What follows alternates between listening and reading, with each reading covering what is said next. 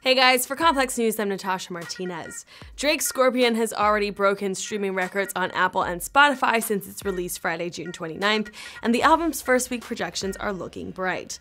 It's no question that Drizzy's album will hit number one on the Billboard 200 chart, but the numbers that he's pushing to secure that space are impressive.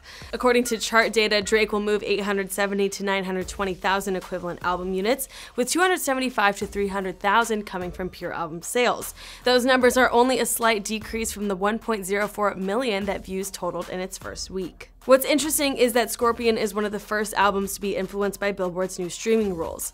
Under these new rules, paid subscriptions hold a bigger weight compared to free ones. 1,250,000 streams equals one sale on a paid subscription platform, while 3,750 streams equals one sale on a free streaming option.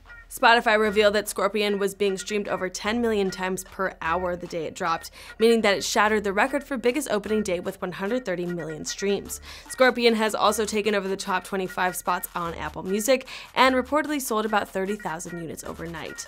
On Friday, Drake was also named the RIAA's highest certified digital singles artist, having moved 142 million digital singles to date.